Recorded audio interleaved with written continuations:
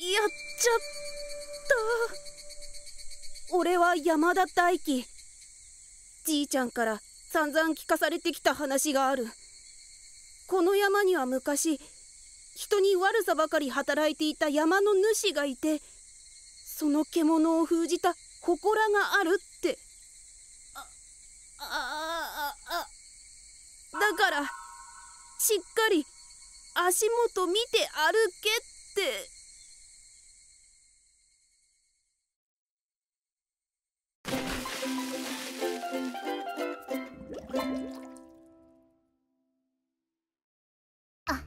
ああの私は特に気にしていませんのでそんなに私の髪型にこだわっていただかなくても。ダメよ。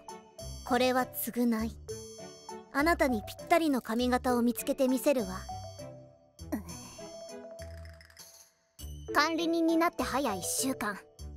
無段階が相手ならぎこちないながらも恐怖を抑え込めるようになってきました。管理人さんおはようございます。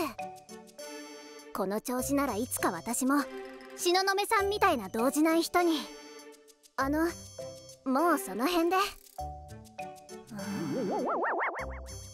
鼓。おうやどこ？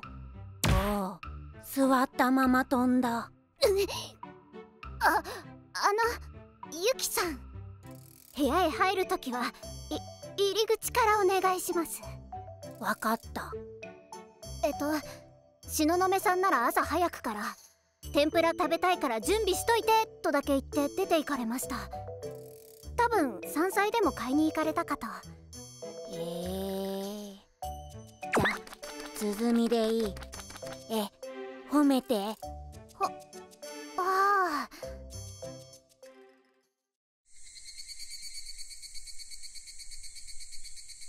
やっちゃった。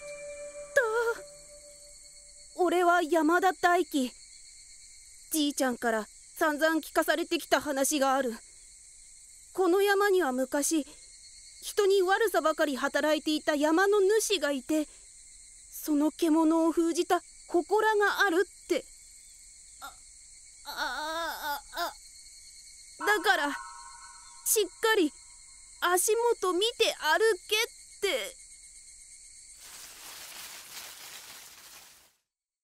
ぼ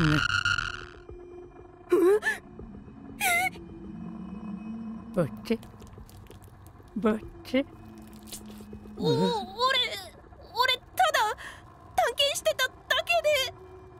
ぼっちぼっちぼっち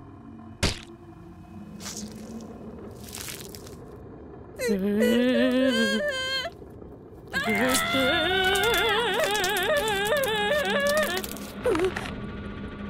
ぼっ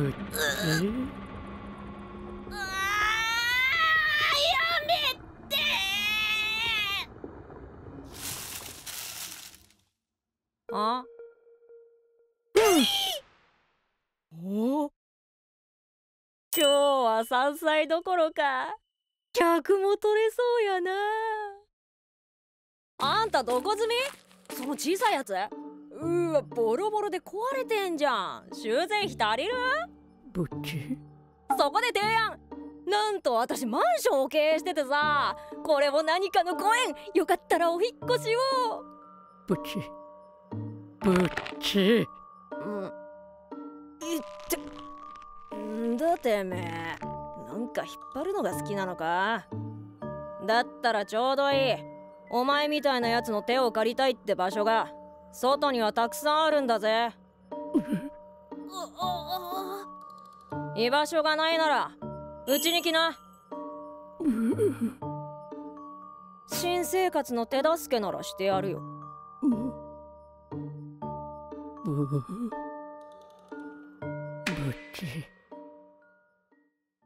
こらガキンチョお前かこの家壊したのいや俺わざとじゃごめんなさい。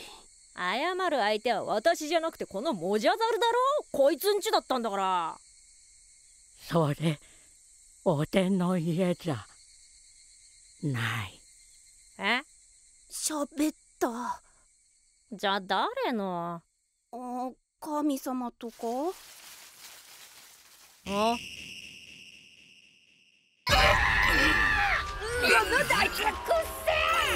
あれは危ない。丸月バツ日。あーお腹減った。あもう遅いですよ。どんな遠いスーパーに行ってたんですか？悪い悪いでもほらこれ。知人のじいさんの山からたくさん取ってきたぞ。はい取ってきた？あと新しい住人も。ね